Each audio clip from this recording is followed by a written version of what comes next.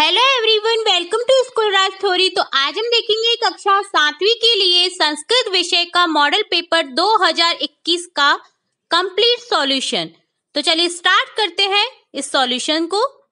सबसे पहले यहाँ गिवन क्वेश्चन है खंड ए में बहुवैकल्पिक प्रश्न, जिसमें फ़र्स्ट प्रश्न है, करोती पद में कौन सी धातु है? तो यहाँ चार ऑप्शन दे रखे हैं, हमें सही ऑप्शन पर टिक मार्क करना है। तो यहाँ सही ऑप्शन होगा क्री। करोति पद में कौन सी धातु है? क्री धातु। नेक्स्ट सेकंड क्वेश्चन है, निम्नलिखित में से अशुद्ध पद है। यहाँ चार ऑप्शन दे रखे हैं, जिनमें से हमें अशुद्ध पद को क्लिक करना है। तो यहाँ अशुद्ध पद है गमंती। ए सही हो जाएगा, गमंती यहाँ सही आंसर हो जाएगा। थर्ड है पीताम्बर शब्द का संधि विच्छेद है। तो यहाँ हमें पीताम्बर शब्द का संधि विच्छेद बताना है। तो यहाँ पीताम्बर शब्द का संधि विच्छेद होगा। ऑप्शन बे, पीत प्लस अंबर। इसी तरह से नेक्स्ट क्वेश्चन फोर्थ देखेंगे। क्वेश्चन फोर्थ है निम्नलिखित में से स्त्रीलिंग शब्द है। तो यहाँ चार ऑप्शन दे रखे हैं जिनमें हमें स्त्रीलिंग शब्द को क्लिक करना है। तो यहाँ स्त्रीलिंग शब्द होगा। चटका। नेक्स्ट फिफ्थ है, राम शब्द का पंचमी विभक्ति एक वचन रूप बताना है। तो यहाँ ऑप्शन करेक्ट हो जाएगा ऑप्शन से रामात नेक्स्ट सिक्स है, पट धातु रूप, लोट लकार प्रथम पुरुष है। तो यहाँ पट धातु का प्रथम पुरुष लोट लकार बताना है। तो यहाँ ऑप्शन बे करेक्ट हो जाएगा पठतु पठताम पठंतु। नेक्स्ट क्वेश्चन देखेंगे। नेक्स्ट क्वेश्चन सेकंड है, निम्नलिखित वाक्यों में से किन्हीं दो वाक्यों का रेखांकी शब्द के प्रश्न निर्माण कीजिए। यहाँ हमें कुछ वाक्य दे रखे हैं, जिनमें हमें रेखांकी शब्द भी दे रखे हैं, जिसके अकॉर्डिंग हमें प्रश्न निर्माण करना है। तो चलिए हम सभी के प्रश्न निर्माण करके देखते हैं। तो फ़र्स्ट है, मालिनी द्वार मुद्दा घाटेती तो यहाँ मालिनी शब्द को रेखांकित किया गया है। हम प्रश्न निर्माण करेंगे, का द्वार मुद्घाट्यति नेक्स्ट सेकंड है कालीन चटकाया संतति जाता। तो यहाँ चटकाया शब्द को रेखांकित किया गया है। तो हम यहाँ प्रश्न निर्माण करेंगे, कालीन कस्या संतति जाता। इसी तरह से थर्ड देखेंगे गजस से वधेन एव मम दुखम अपसरेती। तो यहाँ गजस्य शब्द को रेखांकित किया गया है। तो यहाँ प्रश्न निर्माण होगा, कस्य वधेन एव मम दुखम अ पस रेतई नेक्स्ट फोर्थ है शिक्षा सर्वेशम बालनाम मौलिका अधिकार। यहाँ रेखांकित शब्द है सर्वेशम बालनाम तो यहाँ हम प्रश्न निर्माण करेंगे, शिक्षा केशाम मौलिक अधिकार। नेक्स्ट प्रश्न संख्या थर्ड देखेंगे। मंजुषा से उचित संख्या पद चुनकर रिक्त स्थानों की पूर्ति कीजिए। यहाँ हमें कोष्ठक में कुछ शब्द दे रखे हैं, जो कि नीचे दिए गए रिक्त स्थान में उचित शब्द को चुनकर हमें फिल करना है। तो देखते हैं फ़र्स्ट। तो फरवरी मासे सामान्यतः रिक्त स्थानम दिनानी भवंती तो यहाँ रिक्त स्थान में आएगा अष्टाविशंति। फरवरी मास में सामान्यतः 28 दिन होते हैं। नेक्स्ट सेकंड है, रिक्त स्थानम ऋतव भवंती। तो यहाँ ऋतु बतानी है तो यहाँ उचित शब्द आएगा शर। शर ऋतव भवंती। थर्ड है एक्समनी मासे रिक्त स्थानम अथवा रिक्त स्थानम दिवसाह भवंती। तो यहाँ पहली रिक्त स्थान में आएगा त्रिंशत और दूसरे रिक्त स्थान में आएगा एक त्रिंशत। एक मास में या तो तीस दिन होते हैं या इकतीस दिन होते हैं। नेक्स्ट खंड बे में है क्वेश्चन फोर निम्नलिखित प्रश्नों में से किन्हीं दो प्रश्नों के उत्तर एक पद में संस्कृत पर लिखिए। यहाँ हमें कुछ प्रश्न दिए गए हैं, जिनके उत्तर हमें एक पद में देना है। यहाँ चार क्वेश्चन दे रखे हैं, जिनमें से हमें दो प्रश्नों के उत्तर देने हैं। यहाँ मैं आपको चारों ही प्रश्नों के उत्तर बताऊँगी। तो चलिए शुरू करते हैं।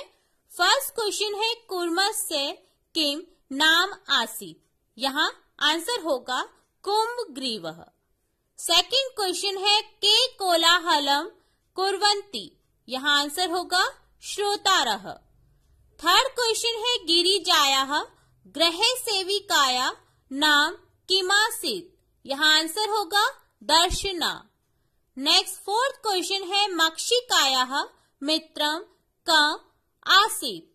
यहाँ आंसर होगा, मंडुक मेघनाद।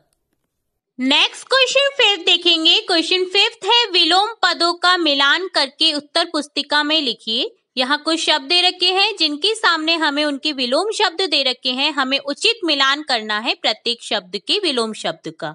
तो चलिए देखते हैं आंसर। सबसे पहले शब्द दे रखा है अध, जिसका विलोम शब्द से मिलान करेंगे ऊपरी। अध का विलोम होगा ऊपरी। नेक्स्ट है अंत, जिसका विलोम शब्द होगा करेक्ट बही। तो यहाँ हम इसे बही से मिलान कर देंगे। नेक्स्ट है दुर्बुद्धे, जिसका विलोम शब्द होगा सुबुद्धे। तो हम यहाँ इसे मिलान कर देंगे सुबुद्धे से।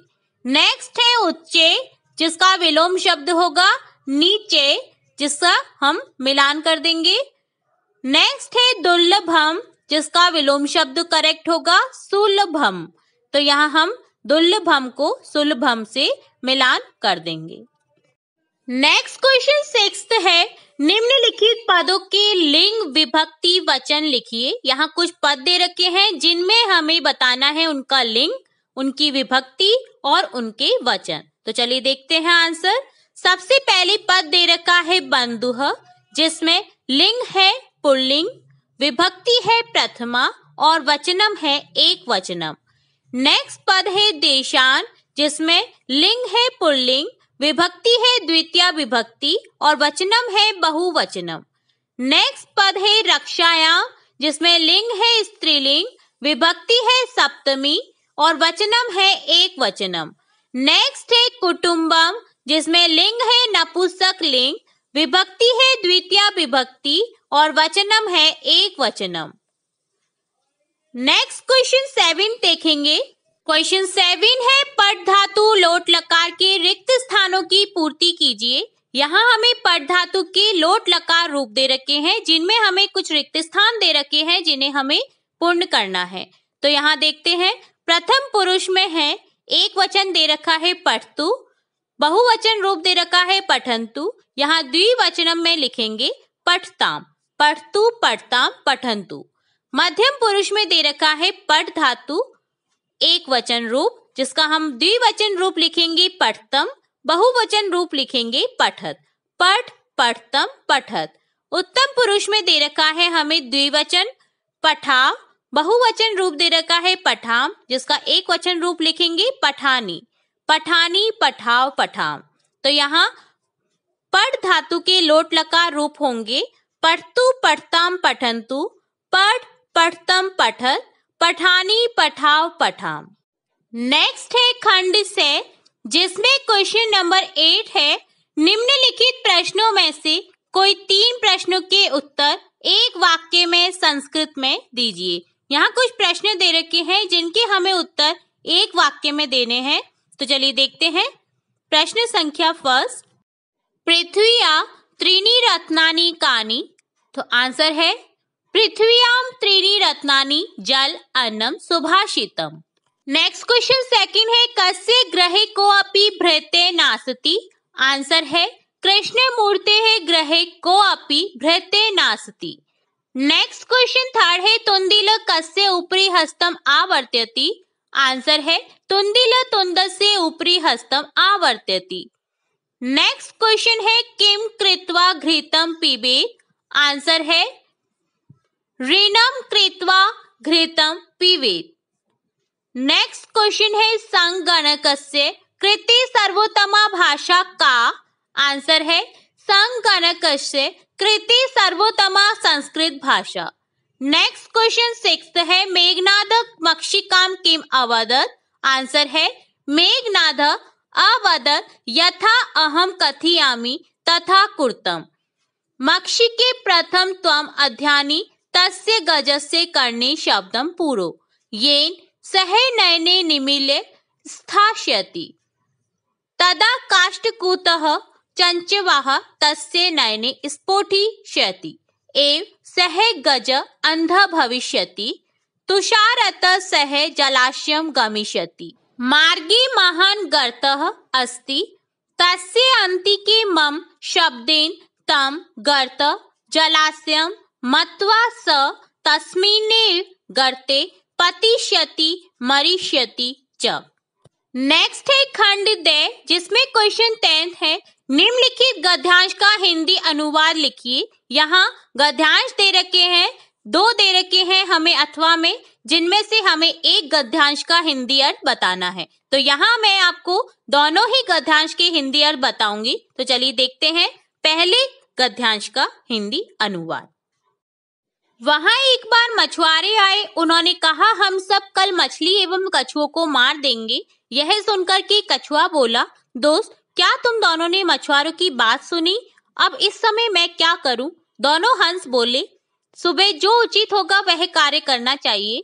कछुआ बोला, मेरे द्वारा ऐसा नहीं है। जैसे मैं दूसरे तालाब में जा रहा हूँ, तथा वैसा करो। दोनों हंस बोले, हम दोनों क्या करें? तब कछुआ बोला, मैं तुम दोनों के साथ आकाश मार्ग से जाना चाहता हूँ। अब देखेंगे अथवा में दे रखा गद्यांश का हिंदी अनुवाद। संस्कृत में विद्यमान सूक्तियाँ वृद्धि या आगे बढ़ने के लिए प्रेरित करती हैं, जैसे सत्य की ही विजय होती है, पृथ्वी ही परिवार है, ज्ञान से अमरता की प्राप्ति होती है, काम में ही कुशलता है आदि। सभी प्राणियों में आत्मा की समान व्यवहार करना चाहिए, अर्थात जैसा हमें अच्छा लगता है, वैसा ही व्यवहार हमें दूसरों के साथ भी करना चाहिए। संस्कृत भाषा ये हमें अच्छी तरह शिक्षा देती है, कुछ कहते हैं कि संस्कृत भाषा केवल धार्मिक साहित्य है, यह धारणा ठीक नहीं है। संस्कृत विषय में मानव जीवन के लिए विभिन्न विषय समाहित हैं। ये थे दोनों ही गद्यांश के हिंदी अनुवाद। नेक्स्ट क्वेश्चन देखेंगे। नेक्स्ट क्वेश्चन इलेवन है। निम्नलिखित श्लोक का हिंदी अनुवाद कीजिए। यहाँ श्लोक दे रखे हैं हमें दो, जिनमें से हमें एक को अटेम्प करना है। हम यहाँ दोनों ही श्लोक के हिंदी अनुवाद देखेंगे। तो चलिए देखते हैं पहला श्लोक, जो कि है पृथ्व्याम त्रीणी रत्नानि जल मन्नम सुभाषितम। मूढ़े पाषाण खंडेशु रत्न संख्या विधीयते। चलिए देखते हैं सबसे पहले इस श्लोक का हिंदी अर्थ। पृथ्वी पर तीन रत्न हैं, जल, अन्न और सुंदर वचन। मूर्ख लोगों के द्वारा पत्थर के टुकड़ों में रत्नों को ढूंढा जाता है। यहाँ बताया गया है कि पृथ्वी पर तीन रत्न है, जल, अन्न और सुंदर वचन। जो लोग मूर्ख होते हैं वो लोग क्या करते हैं? पत्थर के टुकड़ों में रत्नों को ढूंढते हैं। अर्थात पृथ्वी पर तीन रत्न है जल अन्न और सुंदर वचन। जो लोग मूर्ख होते हैं वो पत्थर के टुकड़ों को रत्न मानते हैं। अगला श्लोक है धन धान्य प्रयोगेशु विद्या संग्रहेशु आहारी व्यवहारी च व्यक्त लज्जे सुखी भवे तो हिंदी अर्थ होगा इस श्लोक का, धन धान के प्रयोग में, विद्या की संग्रह में, आहार में और व्यवहार में, जो लज्जा को त्याग देते हैं, वही सुखी रहता है या सुखी होता है। नेक्स्ट क्वेश्चन ट्वेल्व देखेंगे। ट्वेल्व क्वेश्चन है निम्नलिखित में से किसी एक विषय पर संस्कृत भाषा में निबंध लिखिए। यहाँ हमें दो विषय दे रखे हैं, जिनमें से हमें एक विषय पे संस्कृत भाषा में निबंध लिखना है। तो हम यहाँ दोनों ही जो है, विषय, दोनों के ऊपर हम निबंध देखेंगे। सबसे पहले देखेंगे मम विद्यालय पर निबंध। अस्माकम विद्यालय जयपुर नगर से मध्य रमणीय स्थानी स्थित। अयम उच्च माध्यमिक विद्यालय अस्ति। अहम अस्मिन् विद्यालये अष्टमी कक्षायां पठामि। अस्मिन् विद्यालये छात्र छात्राश्च सह पठन्ति। अस्माकं विद्यालये पञ्चदश अध्यापका सन्ति। अत्र द्विशत छात्र पठन्ति। अस्य विद्यालयस्य भवनं द्विभूमिकं, विस्तृतं, भव्यं, सुसज्जितं चास्ति। अस्य पुस्तकालये दश सहस्राणि पुस्तकानि सन्ति। विविधः पत्र पत्रिकाः च समायान्ति। अयं विद्यालय पठन पाठन दृष्ट्या सुव्यवस्थित। सुशासिश्च वर्तते, अत्र त्या छात्रा योग्यतमा सन्ति, अयम आदर्श विद्यालय अस्ति। अगला विषय है संस्कृत भाषा महत्व तो चलिए देखते हैं इस विषय पर निबंध। संस्कृत भाषा अस्माकं देशस्य प्राचीनतमा भाषा अस्ति। प्राचीनकाले सर्वे भारतीय संस्कृत भाषाया व्यवहारं कुर्वन्ति स्म। कालान्तरे विविधा प्रान्तीय भाषा प्रचलिता, अभवन् किन्तु संस्कृतस्य महत्व अद्यापि अशून्यं वर्तते। सर्वे प्राचीन ग्रन्थाः चत्वारो वेदाश्च संस्कृत भाषाय में सन्ति संस्कृत भाषा भारत राष्ट्र से एकताया आधार अस्ति। संस्कृतं सर्वत्र देशे समान रूपेण आद्रियते। संस्कृत भाषाया यत् स्वरूपम् अद्य प्राप्यते तदेव अद्यत सहस्रवर्ष पूर्वमेव आसीत्। संस्कृत भाषाया स्वरूपं पूर्णरूपेण वैज्ञानिकम् अस्ति। अस्य व्याकरणं पूर्णत, तर, समत च। इस प्रश्न के अथवा में दे रखा है मंजुषा से उचित पदों को चुनकर रिक्त स्थान पूर्ण करते हुए कथा को पूरा कीजिए। या तो आप निबंध लिखें या फिर इस क्वेश्चन को करें, जिसमें हमें कोष्टक में कुछ उचित पद दे रखे हैं, जिनमें से हमें दिए गए रिक्त स्थान में उचित शब्द को फिल करना है। तो चलिए देखते हैं इस क्वेश्चन का आंसर यहाँ दे रखा है एक वृक्ष से शाखासु अनेके काकाः वसंती स्म, तस्य वृक्ष रिक्त स्थानम एक सर्प अपि अवस्वत यहाँ रिक्त स्थान में आएगा कोटरे। तस्य वृक्ष से कोटरे एक सर्प अपि अवस्वत। काका नाम अनुपस्थितो, रिक्त स्थानम। काका नाम शिशुन खादती स्म। यहाँ रिक्त स्थान में आएगा सर्प। काका नाम अनुपस्थितो, सर्प काकानां शिशुन खादती स्म। काका रिक्त स्थान आसन। यहाँ रिक्त स्थान में आएगा दुखिता। काका दुखिता आसन। तेषु एक रिक्त स्थानम काका उपायम रिक्त स्थानम वृक्ष से रिक्त स्थानम जलाशय आसित। यहाँ प्रथम रिक्त स्थान में आएगा वृद्ध, सेकंड में आएगा अचिंत थर्ड में आएगा समीपे। तेषु एक वृद्ध, काक उपायम अचिंत्य वृक्ष से समीपे जलाशय आसीत। तत्र एक राजकुमार स्नातु रिक्त स्थानम आगछति स्म। यह रिक्त स्थान में आएगा, जलाशयम। तत्र एक राजकुमार स्नातु जलाशयम आगछति स्म।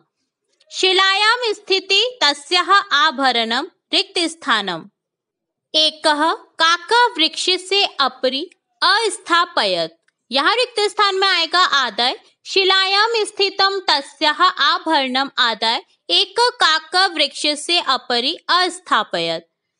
राजसेवकाः काकम अनुसृत्य रिक्त स्थानम सीपम अगछन यहाँ रिक्त स्थान में आएगा वृक्ष से राजसेवकाः काकम अनुसृत्य वृक्ष से सीपम अगछन तत्र ते तम सर्प च अमारयन, अतः एवोक्तम उपायन सर्व सिद्ध्यति लास्ट क्वेश्चन थर्टीन देखेंगे। बीमारी के कारण तीन दिन के अवकाश के लिए प्रधानाध्यापक जी को प्रार्थना पत्र लिखिए संस्कृत में।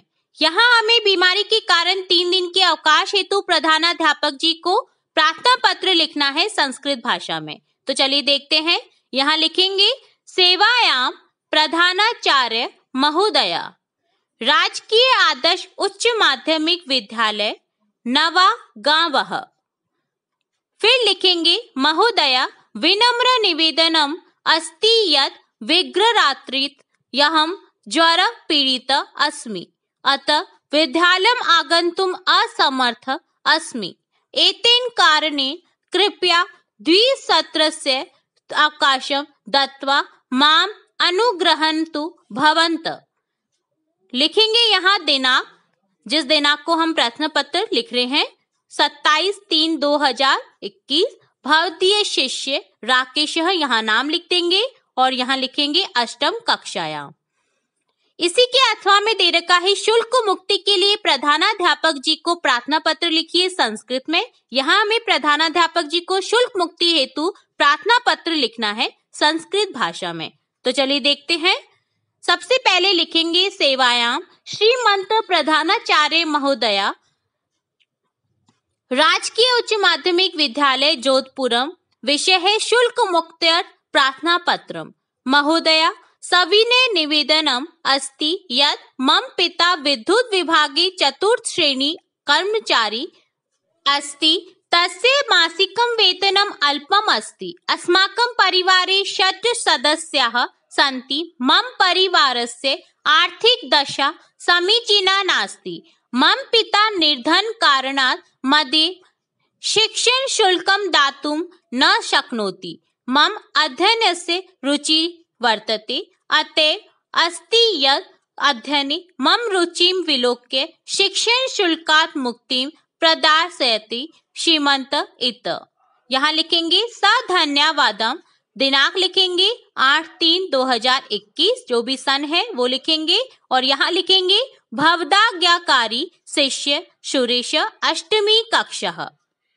तो ये था कक्षा सात की विषय, संस्कृत विषय का कंप्लीट प्रश्न पत्र का सॉल्यूशन हम इसी तरह अन्य विषय के सॉल्यूशन देखते रहेंगे। हमारी कक्षा के अनुसार अन्य पाठ के सॉल्यूशन देखते रहेंगे। तो जुड़े रहिए स्कूल राज थोरी चैनल के साथ वीडियो को पूरा देखने के लिए। धन्यवाद।